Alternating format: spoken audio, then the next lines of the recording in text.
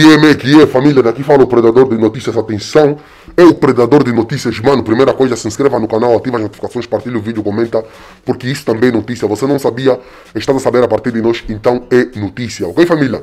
Ah, família, sabes por que o Predador de Notícia fica a te falar toda hora, se inscreva no canal, se inscreva no canal, é porque você fazendo isso nos estará nos ajudando bastante, família. Você fazendo isso estará nos ajudando bastante. Então conto com você, tá entendendo, família? Então sem mais blá blá blá. Hein? Conto com você, família, tá a ver? Você fazendo isso, teremos nós, né? Teremos mais chance de falar, empelar, abaixa, empelar 2022 vão rir, empelar rua, tá entendendo? Teremos mais chances e de prender eles, de prender a família dos Santos, que são os arquitetos da corrupção no país, esses marimbondos que colaboraram com a família dos Santos e de, de dizer ao MPLA 2022 vão rir. Estão a entender, família? É mais ou menos isso. Estão a entender? E você que queres anunciar que nosso canal é simples, é só você ir na descrição do vídeo, tem lá nossos contatos para parceria, divulgação e denúncia. Estão a entender? E aí, denúncia. Está a entender, família? É mais ou menos isso. Então, uh, sem mais delongas, sem mais crutucretas, vamos para o que interessa. E a família, como vocês estão a ver no título, é isto mesmo. General revela como Kundi Payama chantageou José Eduardo dos Santos para afastar João de Matos. O mesmo Kundi Payama ameaçou exilar-se em Cuba. Tudo isso e muito mais você acompanha aqui agora no canal MSTV, a TV que chega até você, a TV que não bajula você, maniga. E a família, como eu disse no início do vídeo, vocês já devem ter visto, vão ter que ver e ouvir de novo, é isto mesmo. General revela como Kundi Payama chantageou José Eduardo dos Santos para afastar João de Matos. Estão a entender? O mesmo Kundi Payama ameaçou exilar-se em Cuba. Está a entender? Só para afastar o João de Matos. Quem revelou isso não é o perdedor de notícia. Foi o general Luiz Pereira. Estão a entender? Foi o general Luiz Pereira. Não é o predador de notícia que está a inventar isso. É o predador de notícia. Ah, Kundi Payama já morreu. Não sei o quê. Eu quero lá saber. Eu quero lá saber.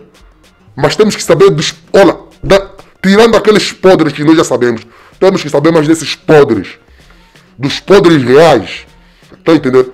O general na reforma, Luiz Pereira, faceira, contou pela primeira vez as circunstâncias que ditaram o afastamento do general João Batista de Matos no comando do Estado-Maior General das FA, no auge da, da guerra em janeiro de 2001. A faceira trouxe a versão mais detalhada da margem de um programa radiofônico, a Rádio MFM, no sábado, que visou homenagear o general Matos, falecido aos 4 de novembro de 2017, em Espanha. Estão a entender? Fonte clubicapa.net. Estão a entender? Essa matéria é de 2018, já? Dia 3 um, de novembro de 2018, provavelmente tem uns dois anos. Então resolvemos trazer aqui para vocês. Tá a entender, família? É mais ou menos isso. Vamos lá saber da matéria aqui completa, ok? Yeah. Luiz Pereira Faceira, que na altura foi o chefe de Estado-Maior do Exército, contou que a exoneração daquele oficial deveu-se a incompreensões com a então ministro da Defesa Nacional, Kundi Payama. Segundo contou, certo dia, o ex-ministro Kundi Payama comunicou ao presidente José Eduardo Santos que viajaria a Cuba por motivos de saúde e só voltaria se João de Matos não fosse chefe de Estado-Maior General das Forças Armadas Angolanas. Estão entendendo? De seguida, segundo Luiz Faceira, o então presidente da República, José Eduardo Santos, convocou uma reunião em que estavam presentes o general Manuel Vieiras Dias, do Copelipa, e Roberto Vitor de Almeida, membro do Bureau Político do MPLA, né? por parte do setor da Defesa Nacional, estavam os generais Pedro Neto, ex-comandante das Forças Aéreas, João de Matos, ou Sem eh, Almirante Gaspar, né? o Rufino, ex-comandantes da Marinha da Guerra e o próprio Luiz Faceira, ex-CM do Exército. Né? Na reunião, o presidente expôs a situação e comunicou que iria tomar uma decisão à volta do Exército.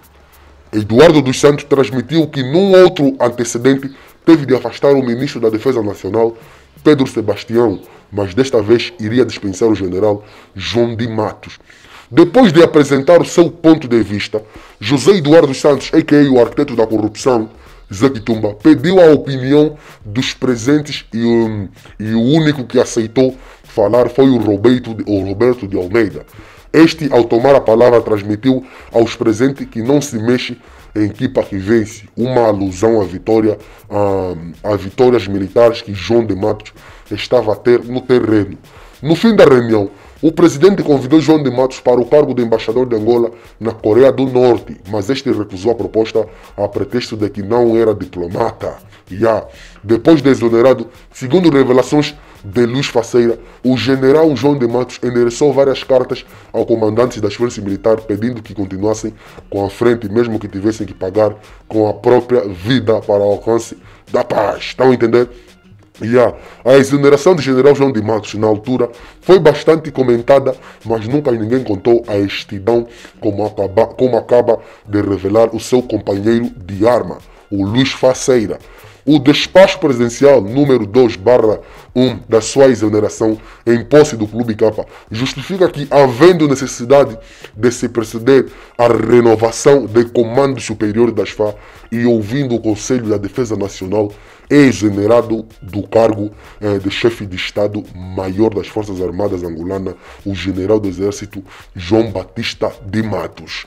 A medida na altura, pela voz do então correspondente da BBC em Luanda, Reginaldo Silva, relatava que são conhecidas alguns episódios em que João de Matos terá chocado abertamente com alguns políticos do regime. Ninguém ignora que o seu relacionamento com o próprio ministro da Defesa, Kundi Payama, estava longe de ser um mar de rosas. Algumas fontes em Luanda admitem mesmo que este relacionamento demasiado tenso poderá ter sido a causa mais próxima que ditou o afastamento de João de Matos, né família? Yeah.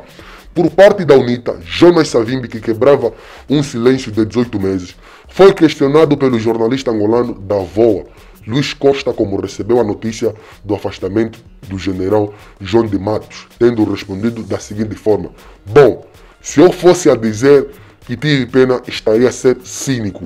E eu não preciso de ser cínico. Foi um general que se dedicou à construção das FA e fez a guerra pelo MPLA. Os servidores do regime terminam sempre assim. Isso quem disse foi o papá Mambimbi, tá? Mas quem escreveu esse texto, ó, texto não, quem quem deu essas declarações, né? Foi o general Luiz Pereira, que é o general já na reserva. Opa, família, eu vou repetir aqui o que o papá Mbimbi, o Mambimbi disse, né? O Jonas Malheiro Savimbi. Estão a entender? Hã? Tá aqui, o Jonas Malheiro Savimbi, ao saber dessa situação, dessa notícia, foi disse isso aí. Os servidores do regime terminam sempre assim. Ele não mentiu. O Jonas Savimbi já sabia da verdade. O Jonas Savimbi já sabia de tudo. E nós sabemos que isso aí é, é comum no MPLA. É normal no MPLA. Quem não sabe disso?